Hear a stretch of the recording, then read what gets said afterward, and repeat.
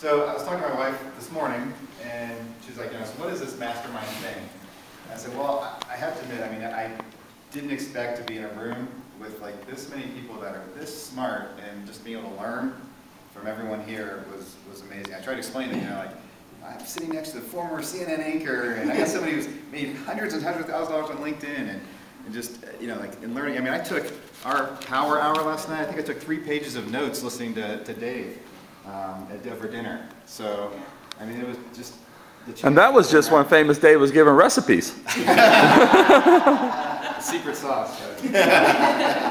But, but it, yeah, it's just been, uh, that- that, that's just been amazing.